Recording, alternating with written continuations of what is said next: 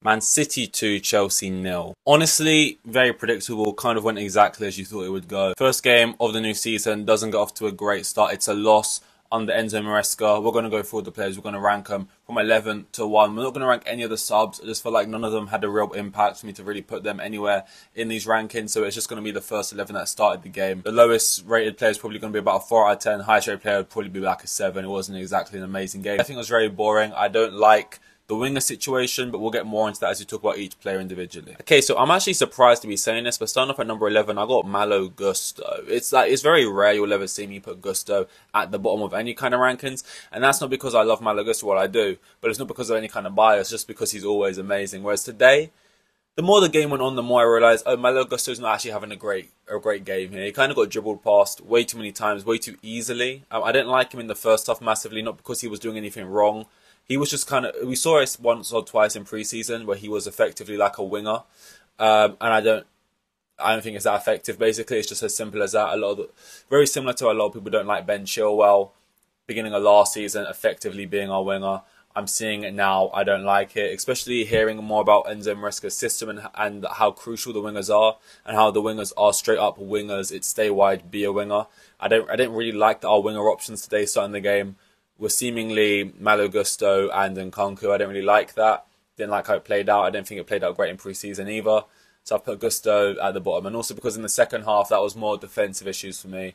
Just a bit too timid in the tackle and yeah, dribble past way too easily. Going up from there, number 10, I've got Caicedo. I don't really think Caicedo did much wrong. Sometimes players get a little bit low in these rankings because I just can't really think about what they did in the game. He walked over a yellow card. That's not the only reason I put him down here. I just think he was a bit weak in the midfield. I didn't really feel Caicedo's presence. I put him down here. I'm not really too sure what to say. Going up from there, I've got Enzo. Fernandez variation. Look, I, I don't know what to say. A lot of people love Fernandez. I don't really feel like he should be wearing the armband, but I think that's sort of a, a bigger commentary maybe on the team in general because who in that team should be wearing it. I personally just like if there's no one to give it to, I'd rather just give it to Cole Palmer just simply because he's a mercurial, not because he's like a leader or anything or he gives us them vibes, just because he is an amazing player. I don't really think Enzo warrants deserves the armband. Um, and again, in, in the midfield today, I just think he's fine. A lot of times he put in he puts in very mid performances. I'm sure if you check his pass completion stats, they were very high. I'm sure they were, but this this is these are the same things I thought you could say for when Jorginho was in the side, and people hated Jorginho for it. And I just think too many times in important positions his touch wasn't good enough, um, not enough you know, killer passes going forward. I feel like we saw more of that from Lavia, if anything. So, and, and also for the second goal, I think him and Caicedo got bypassed way too easily, which is why both of those players are a little bit lower here. Yes, it was also weak crisp packet wrists from Robert Sanchez, but I just think the way in which Kovacic, and we saw him do it in the Chelsea trip many times, just dribble through teams, but the way in which he picks the ball up and just does it with ease, I just thought it just kind of screamed a bit of tiredness, lacking match sharpness heads had probably dropped at that point. We completely felt like, yeah, we're not getting back into this. And it was just kind of lazy. Didn't like it. Didn't appreciate it. Going up from there, I got Fofana. I have literally nothing to say. He was fine. I don't really remember anything. It was just very quiet. Nothing great, nothing bad. Going up from there, I've got Nicolas Jackson. He should be walking away from this game with arguably two goals. He walks away with none. First one, he's offside. Stay on side. Second one, he's offside again, I think. They don't call it for offside, but I think he was. And either way, he he shoots from three yards out and he puts it straight at the goalkeeper. So I have got uh, Jackson here. Going up from there, I've actually got Sanchez. Here's the thing: Sanchez makes the mistake. His his hand is not strong enough. His wrists are not strong enough, right? And he should be saving that. Nine times out of ten, you're a goalkeeper you get a hand to the ball, you should have probably saved if it ends up going in. But I just think he look, he made three saves. His distribution was all right. Up until that, I was probably going to put him a little bit higher if we had a decent enough game. Yeah, he makes the mistake at least the goal. We lost the game anyway, though, so I don't really think it made a difference. And for people annoyed about this, annoyed about Sanchez starting, I'm gonna tell you a, a hard home truth right now. Petrovic is about same level goalkeeper. Jorgensen is probably at the same level of goalkeeper. They're all 7 out of 10 goalkeepers who can make decent saves, can also make a couple errors that leads to goal. None of them are amazing. None and we didn't buy a world class goalkeeper, so don't complain about it. Because what can you do? This isn't a surprise. These goalkeepers will make good saves for this season, and they will make a couple bad saves like what we saw today. But hey, we're getting we're getting um we're getting Felix though, a player we don't really need, but we're getting him, and that's what everyone's gassed about. Going off from there, I actually have Colwill. You could argue he was a little bit flat-footed for the goal, both of the defenders, him and uh, Cucurella, seemed a little bit passive in that Haaland goal. But then again, Haaland's goals do make defenders look like that a lot of the time because it's just so hard to get the ball off him. Um, but I think after he had a pretty solid game, decent amount of interceptions and blocks and stuff. He was putting himself about, takes off the toe of Haaland to, to stop him getting his second. Um, you know, take some studs on the leg for it as well. Uh, so I just think didn't start great, but he grew into it and it was all right. Um, going up from there, got Cucurella. Again, you could argue similar things for the first goal, but I think from there on out, he was probably our best defender. Stepped up really well. Um, I think he anticipated play really well.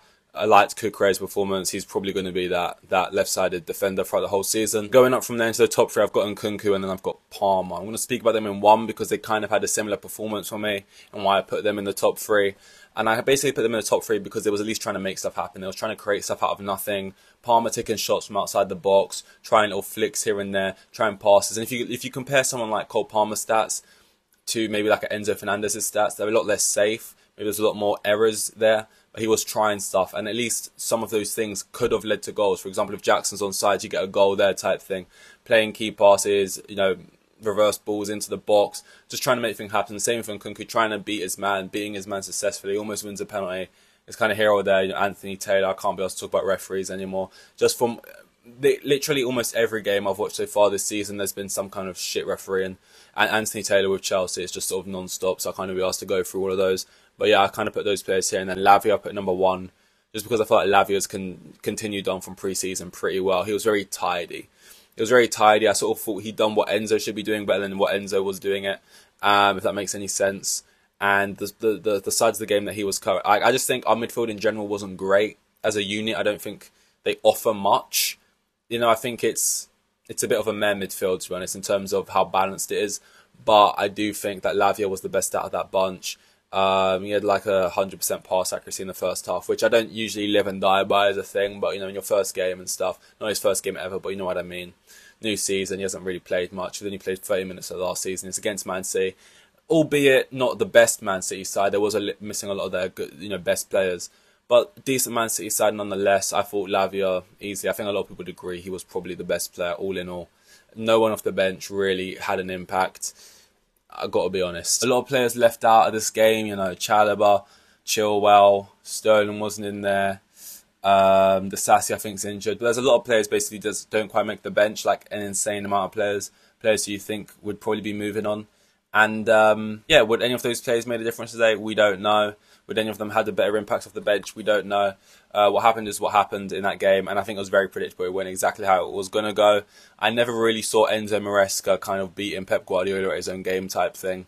And going into Wolves now, I think it's going to be a struggle for sure uh, in that game away from home. But we've also got the sort of conference like conference league game in between there. I think we'll see a completely different side. So we'll see how that goes.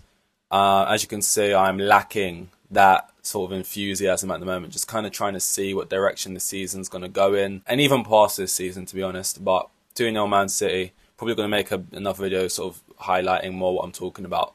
Um, but yeah,